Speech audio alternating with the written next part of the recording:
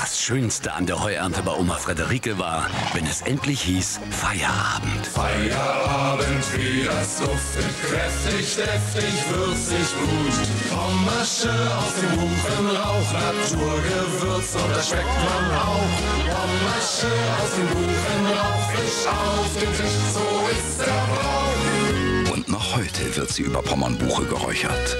Pommersche, die Leberwurst aus dem Hause Rügenwalder.